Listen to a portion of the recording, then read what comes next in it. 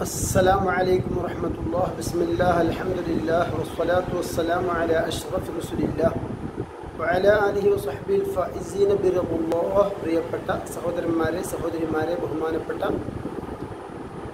അബൂ അംർ റളിയല്ലാഹു തആല അൻഹുവിനെ തൊട്ട് ഇമാം അബൂ ദാവൂദ് റഹ്മഹുല്ലാ തങ്ങൾ റിപ്പോർട്ട് ചെയ്യുന്ന ഹദീസ് റിപ്പോർട്ട് അബു അമ്ര എന്നവരിൽ നിന്നാണ് അതല്ല അബു അബ്ദുള്ള എന്നവരാണ് അതല്ല അബു അബു ലൈല എന്നവരാണ്. ഒക്കെ ആ അഭിപ്രായ വ്യത്യാസങ്ങളുണ്ട്. എന്തായാലും ബഹുമാനപ്പെട്ട ഇമാം അബുദാവുദ് റഹ്മുല്ലാ തങ്ങൾ റിപ്പോർട്ട് ചെയ്ത ഖാനൻ നബിയു സല്ലല്ലാഹു അലൈഹി വസല്ലം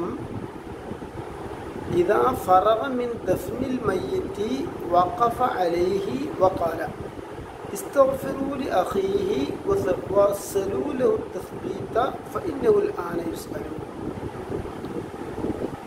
നബി സല്ലല്ലാഹു അലൈഹി വസല്ലമ തങ്ങളായിരുന്നു ഖാനൻ നബി സല്ലല്ലാഹു അലൈഹി വസല്ലം ഇദാ ഫറഗൻ മിൻ ദഫ്നിൽ മയ്യിത്ത് ഒരു മയ്യത്ത് മറമാടലിൽ നിന്ന് വിരമിച്ചാൽ സല്ലല്ലാഹു അലൈഹി വസല്ലമ തങ്ങൾ വഖഫ അലൈഹി അദ്ദേഹത്തിനരികിൽ ആ മറവ് ചെയ്യപ്പെട്ട ആൾക്കരികിൽ നിൽക്കുമായിരുന്നു എന്ന് കബറിന്റെ അരികിൽ നിൽക്കും?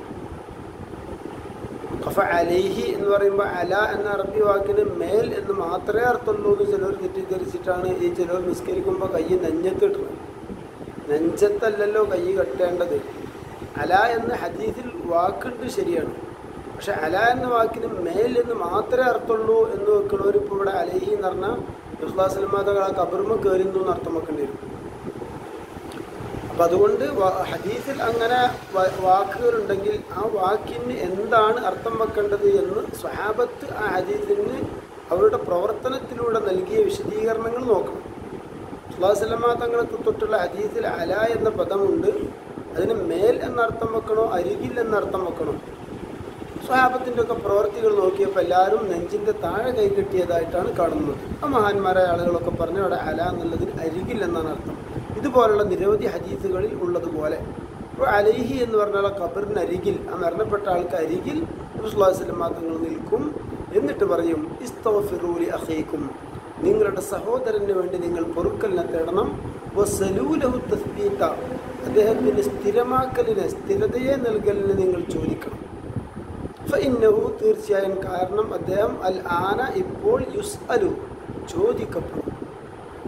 അപ്പോൾ സഹോദരന്മാരെ സഹോദരിമാരെ ഈ ലോകത്തു നിന്ന് മരണപ്പെട്ട് നമ്മൾ അദ്ദേഹത്തെ കബറിൽ കൊണ്ടുവെക്കുമ്പോൾ മറ്റൊരു ലോകത്തേക്ക് നമ്മൾ വളരെ ആത്മാർത്ഥമായി യാത്ര അയക്കുകയാണ് ആ യാത്ര അയക്കുമ്പോൾ തന്റെ ആ സഹോദരന് നല്ലത് വരണം അള്ളാഹു പുറത്തു കൊടുക്കണം എന്ന് ഉദ്ദേശിച്ചുകൊണ്ട് തന്നെ ഓരോ നിസ്കാരത്തിലടക്കമുള്ള പ്രാർത്ഥന കഴിഞ്ഞു കബറിൽ കൊണ്ടുവച്ചു എന്നാലും കൊണ്ടുവച്ചിട്ട് കൊണ്ടുവച്ചേക്ക് പോരാൻ പറ്റില്ല. അവിടെ നിന്ന് ഖബറിക്കുന്ന അരികിൽ നിന്ന് പ്രാർത്ഥിക്കണം. അറിവില്ലാത്തവർ പലതും പറയും. അവർ വേഗം കൊണ്ട് കുഴിച്ചിട്ടുണ്ട് പോരും. പിന്നെ അവിടെ പ്രാർത്ഥിക്കാനും ഖുറാൻ ഓതാനൊന്നും അവരെ കിട്ടില്ല കാരണം എന്താ? പഠിപ്പ് പൂർത്തിയായിട്ടില്ല. പഠിപ്പ് പൂർത്തിയാകുമ്പോൾ അങ്ങനെ പലതും പറഞ്ഞോളൂ. പിന്നെ പിന്നെ ഇങ്ങനെ ഓരോ മാറ്റങ്ങൾ കണക്കുകാണ്ടില്ല പല കാര്യങ്ങളും മാറി മാറി വരുന്നു. കാരണം ആദ്യം അറിയാത്തത് പറയാം. പിന്നെ കുറേ പഠിക്കുമ്പോൾ അങ്ങനെ ഉണ്ടല്ലോ എന്ന് മനസ്സിലാക്കുക. അല്ലെങ്കിൽ ആദ്യം ഉസ്താദുമാരാന്ന് പറയുന്ന ആളുകൾ തെറ്റിദ്ധരിപ്പിച്ചിട്ടുണ്ടാവും. ടൈൽ കുടുങ്ങിയിട്ട് കുറേ കാലം നടക്കും. എന്നിട്ട് പിന്നെ കുറച്ചെന്തെങ്കിലുമൊക്കെ തിരിയേണ്ട അവസരം വരുമ്പോൾ നോക്കുമ്പോൾ മാറ്റങ്ങൾ കാണും.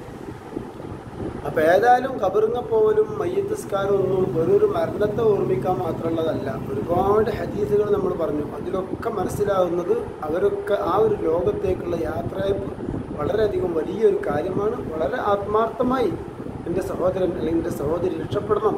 അള്ളാഹു പുറത്തു കൊടുക്കണം. അള്ളാഹു അതിന് തസ്ബീത്ത് കൊടുക്കണം. തസ്ബീത്ത് പറഞ്ഞാൽ സ്ഥിരപ്പെടുത്തുക എന്ന് പറഞ്ഞാൽ ചോദ്യം വരുന്ന അവസരത്തിൽ പതറാതെ സ്ഥിരതയോടുകൂടെ മറുപടി പറയാൻ കഴിയണം.